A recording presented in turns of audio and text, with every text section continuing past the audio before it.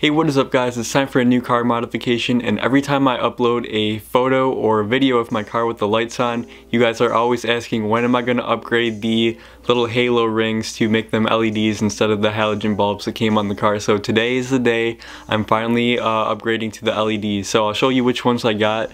They are the uh, Lux E90, the V6, uh, version 6 Angel Eyes. So let's open this box, let's see what's inside, and I'm really excited for this one, let's get right into it.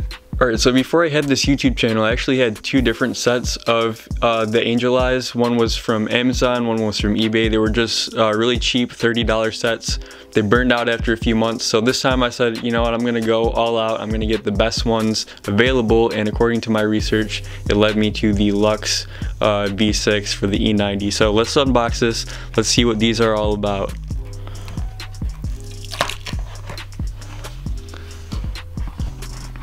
So you got this nice uh, piece of foam protecting them and then you've got um, some little decals that you can put on your car there.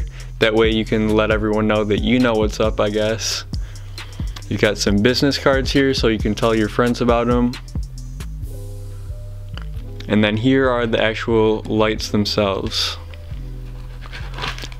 Now I can tell you right away, the ones that I had from Amazon and eBay, they were just like really cheap plastic they only lasted about a month and they would burn out. They, you know, they'd start flickering and then they just wouldn't turn on at all.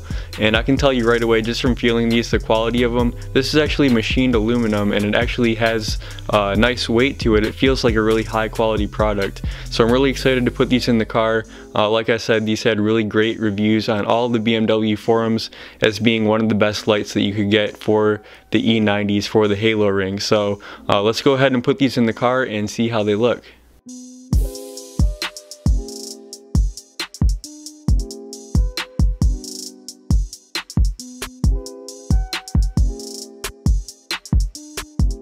Jack up the car and take the wheel off. To reach the access panel for the lights, you will need to remove the fender liner which is held in by 8mm screws.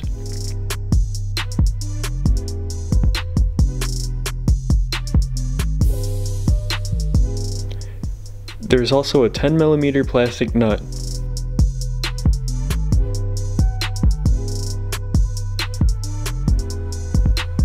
Use a coin to remove this vent so that you don't damage the soft plastic. With all the screws out, remove the fender liner. It's really flexible, so don't be afraid to bend it a little to get it out. It isn't necessary to remove this panel, but I'm taking it off just so you guys have a better view. The smaller panel underneath is the one that you want to take off. It's held on by two clips, top and bottom. Use a flathead screwdriver to release the clips. The trick is unsnapping the bottom without the top snapping back in.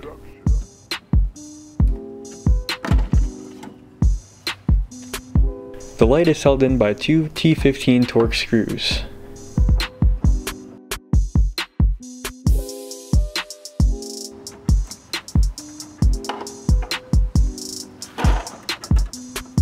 Disconnect the wires to release the light.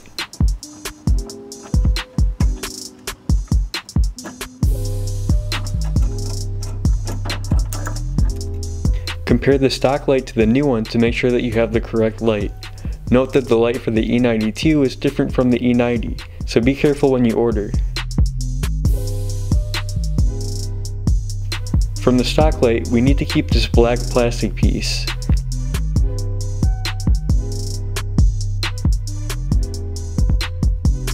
Line it up with the holes on the new light.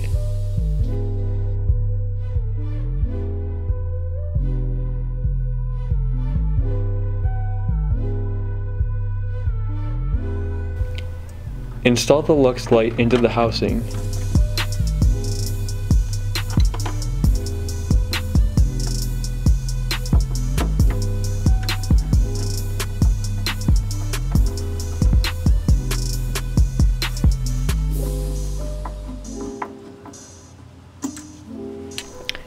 Connect the black wire to brown and the red wire to green.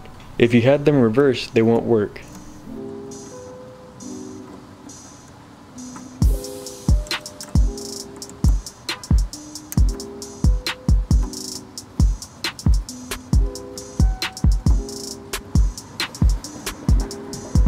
Before you put everything back together, turn on the halos to make sure that they work. Check out the difference between the Lux V6 and the stock halogen bulb.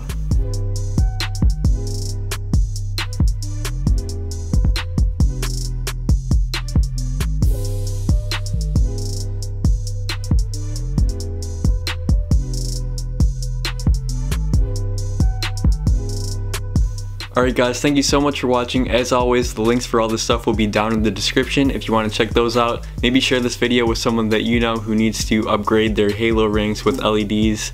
Thanks for watching and I'll see you guys in the next one.